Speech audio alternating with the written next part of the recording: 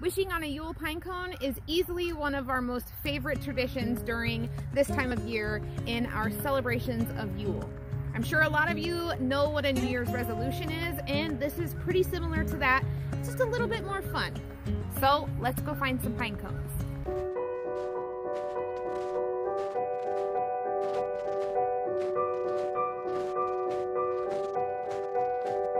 Absolutely purchase your pine cones at the store or even on Amazon if you do not have a pine tree near you or can't get out to a pine tree. Just adds a little bit more adventure and fun into it if I can go find my own pine cones. And I don't just wait until just now um, to get our pine cones. I actually like to look for them throughout the entire year and save them up for projects during the wintry season.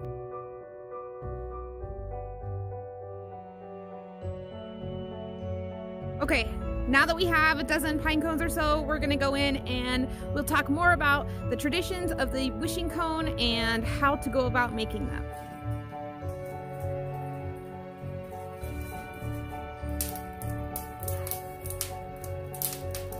Now that we are inside and we are warmed up, we are going to talk about the wishing cone, what it is, and how we're gonna put it together. Beginning centuries ago, people would write down their goals, their wishes, and their intentions for the upcoming new year on little pieces of paper. Sounds exactly like the New Year's resolutions that we are all very familiar with. When you're done writing down your wishes, you roll them up one by one and tuck them down into the little spaces of your pine cone and then you cover them with wax. This holds the wishes in place and then you place them into the fire. There's something that I appreciate about the process of the wishing cone more than I do just pulling random New Year's resolutions out of thin air. Like I want to lose weight, I want to um, get a raise and just keeping them to myself in hopes that I follow through with those things during the new year.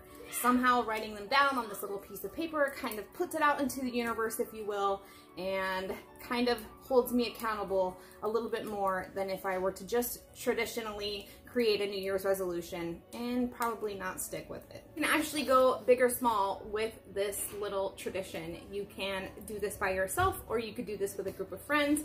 I like to do it with the kids. They think it's really cool to write down their wishes and roll them up and put them into a pine cone and then watch them burn as we're playing games later on in the evening.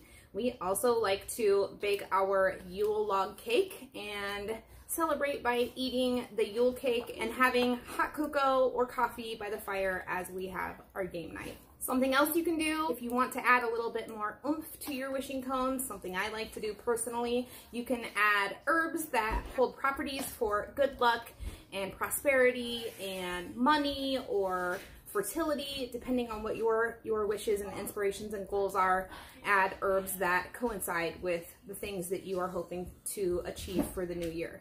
I personally like to add cinnamon and clove to my wishing cone as those hold properties for good luck and fortune. You could also add things like lavender or bay leaves or ginger. It is completely up to you. The things you're gonna need are pine cones. Now, like I said outside, you can source these through Amazon or at your local store. I will put down in the description where you can get them on Amazon.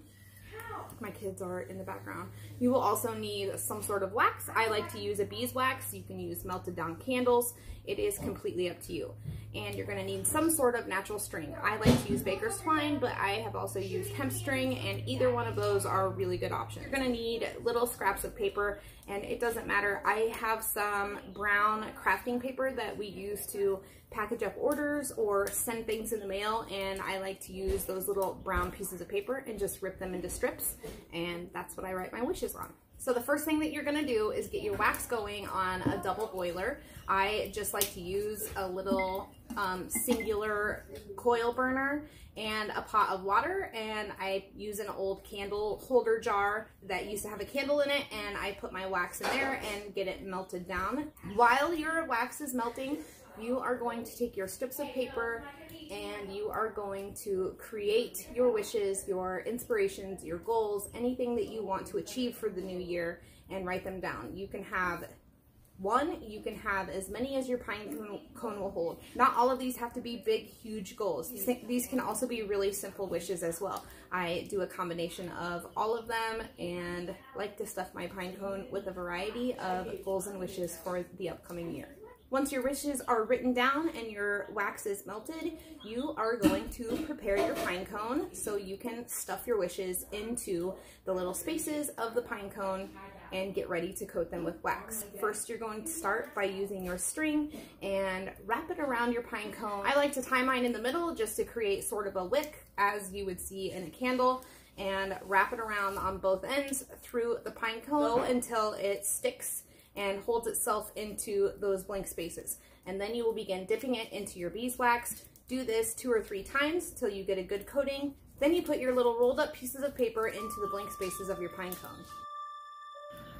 I like to dip the little pieces of paper with the wishes on it into the wax and then stick it into the pine cone. It just helps it hold there in place a little bit better as you are doing this process, just take a minute to think about each wish that you wrote down and think happy, positive, good thoughts about each one of them, just to bring that positive energy to each one of them for the upcoming new year.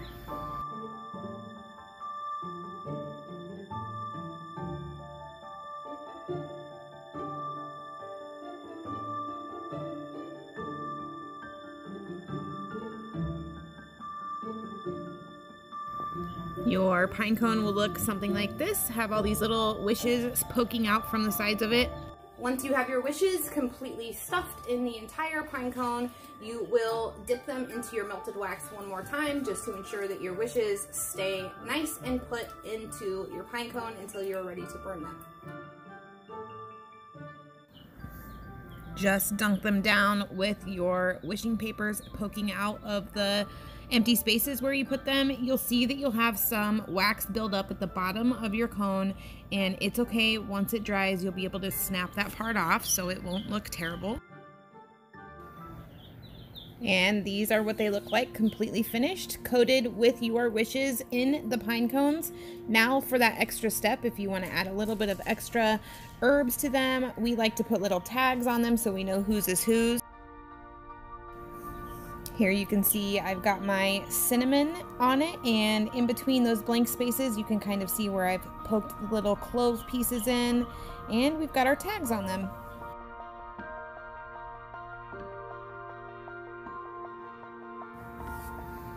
I think these are really adorable and it is a really fun way to come into the new year with good intentions.